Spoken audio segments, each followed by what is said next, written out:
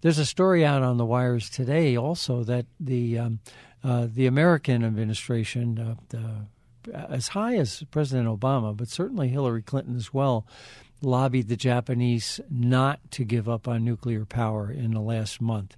So there was intensive pressure from the Americans as well as from the Japanese business interests to sort of create this fuzzy deadline that's so far down the road that really nobody has to do anything right now. Well, why does the U.S. want Japan to stay nuclear?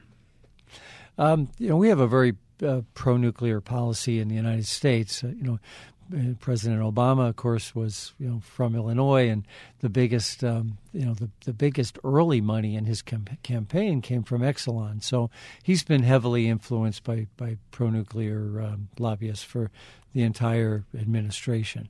Um, it's an export commodity, but uh, according to the, the, the press reports that are out there today, it's more than that. It was a fear that that that it would become a contagion, if you will.